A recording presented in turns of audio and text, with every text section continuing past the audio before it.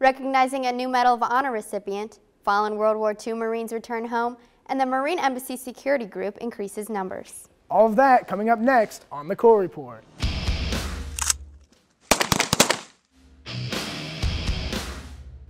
Welcome to the Corps Report. I'm Lance Corporal Clayton Filipovich.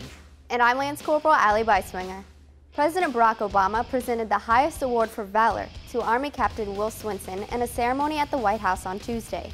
Swenson earned the medal for his actions during a bloody battle in the Ganjgal Valley of Afghanistan on September 8, 2009. If that valley or date sound familiar, it's because that same battle is where Marine Sergeant Dakota Meyer also earned the Medal of Honor. Captain Swenson's recognition is both well-deserved and long overdue. Oorah, sir. The remains of World War II Marines missing in action were identified and returned to their families for burial October 11.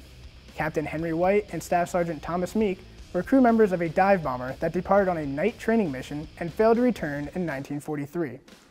During the training mission, the aircraft crashed on a coral cliff off the coast of Mavea Island, which is near Australia. They will be buried Friday at Arlington National Cemetery with full military honors. Since World War II, more than 83,000 service members have been declared missing in action. The Joint POW MIA Accounting Command continues to search for remains to bring these fallen heroes home. The Marine Corps Embassy Security Group plans to increase its number of personnel to 2,300 Marines. Marine security guards serve in more than 130 countries, including Libya, Syria, and Afghanistan. These Marines go through an intense screening process as well as six weeks of schooling to learn how to protect classified material worldwide. The plan to increase the number of Marine security guards will come without degrading the readiness of the Corps. To learn more, click on the link in the video description.